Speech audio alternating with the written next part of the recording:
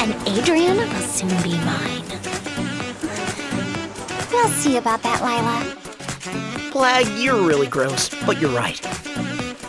I never fall for your poetry, but I do find your foolishness incredibly powerful. Just get that drawing pencil away from him, little lady. I'll take care of the rest.